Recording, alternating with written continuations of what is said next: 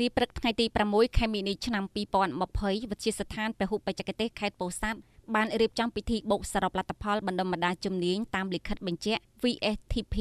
ជំហានទី1ឆ្នាំទី1និងឆ្នាំទី2ក្រោមអធិបតីភាពអាយដាមហ៊ីងស៊ីដេតអគ្គនាយកនៃអគ្គនាយកដ្ឋានអប់រំបណ្ដុំបណ្ដាបច្ចេកទេស និងវិជ្ជាជីវៈលោកចេញឡៃអភិបាលរងនៃគណៈអភិបាលខេត្តពោធិ៍សាត់ដោយមានការអញ្ជើញចូលរួមពីលោកស្រីសមាជិកសមាជិកាក្រុមប្រឹក្សាឃុំសង្កាត់លោកប្រធានអនុប្រធានមន្ទីរជំនាញខេត្តលោកនាយកនាយករងវិទ្យាស្ថានពហុបច្ចេកទេសលោកលោកស្រីមេភូមិមេឃុំលោកគ្រូអ្នកគ្រូជនជាតិកូរ៉េនិងសិស្សនិស្សិតជាច្រើនរូបទៀតលោកង៉ែតានាយកវិទ្យាស្ថានពហុបច្ចេកទេសខេត្តពោធិ៍សាត់បានជម្រាបជូនថា វិទ្យាស្ថានពហុបច្ចេកទេសខេត្តពោធិ៍សាត់ត្រូវបានបង្កើតឡើងតាំងពីឆ្នាំ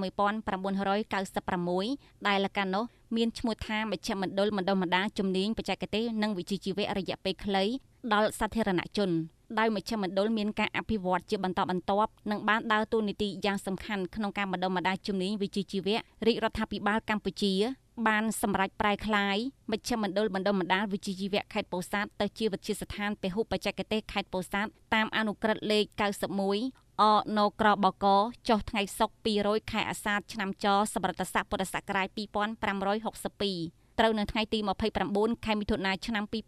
2018ការប្រែក្លាយមកជាវិទ្យាស្ថាននេះបានអនុញ្ញាតឲ្យវិទ្យាស្ថានពហុបច្ចេកទេសខេត្តពោធិ៍សាត់មានសិទ្ធិធ្វើការបណ្ដុះបណ្ដាលជំនាញបច្ចេកទេសនិងវិជ្ជាជីវៈរយៈពេលខ្លី រហូតដល់កម្រិតបរិញ្ញាបត្រឬបរិញ្ញាបត្រវិស្វករក្នុងឆ្នាំ2019កន្លងទៅនេះក្រសួងការងារនិងបណ្ដុំបណ្ដាវិជ្ជាជីវៈក៏បានសម្រេចបញ្ចូលសាលាបណ្ដុំបណ្ដាវិជ្ជាជីវៈរលាំងមកជាផ្នែកមួយនៃវិទ្យាស្ថានពហុបច្ចេកទេសខេត្តពោធិ៍សាត់ផងដែរបច្ចុប្បន្នវិទ្យាស្ថានមានបុគ្គលិកសរុបចំនួន79នាក់ស្រី14នាក់មាននាយក1នាក់នាយករង5នាក់ប្រធានការិយាល័យ3នាក់ប្រធាន ដេប៉ាតឺម៉ង់ជំនាញ5នាក់អនុប្រធានការិយាល័យនិងដេប៉ាតឺម៉ង់4នាក់គ្រូបច្ចេកទេស54នាក់និងនាយកនាយករងសាលាបណ្ដុះបណ្ដាវិជ្ជាជីវៈរលាំង2នាក់អ្នកស្ម័គ្រចិត្តជនជាតិកូរ៉េ5នាក់ស្រី1នាក់លោកចេងឡៃអភិបាលរងនៃគណៈអភិបាលខេត្តពោធិ៍សាត់បានថ្លែងអំណរគុណដល់អ្នកស្ម័គ្រចិត្តប្រទេសកូរ៉េ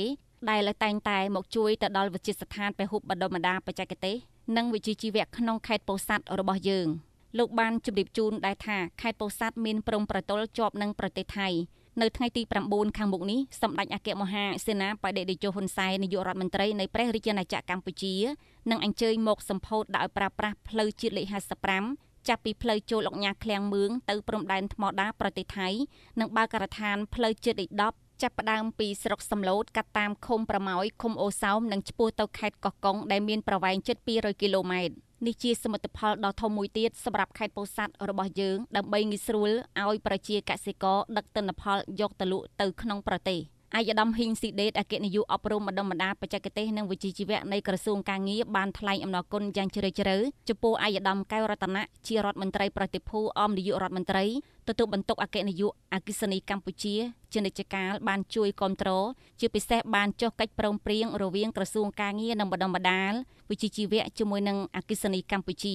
នេះជាកិច្ចសហប្រតិបត្តិការផ្សារភ្ជាប់រវាងថ្នាក់ជាតិនិងថ្នាក់ក្រោមជាតិជំរុញធ្វើយ៉ាងណាឲ្យវិស័យអប់រំបណ្ដុំបណ្ដាលបច្ចេកទេសមានការរីកចម្រើនខាងផ្នែកសេដ្ឋកិច្ចនៅក្នុងប្រទេសកម្ពុជាយើងមានគ្រឹះស្ថានអប់រំបណ្ដុំបណ្ដាលបច្ចេកទេសនិងវិជ្ជាជីវៈក្រោមអាវ៉ាតក្រសួងការងារមានចំនួន113គ្រឹះស្ថានសាធារណៈមាន38បានធ្វើការបណ្ដុំបណ្ដាលផ្នែកអប់រំបច្ចេកទេសនិងវិជ្ជាជីវៈចំនួន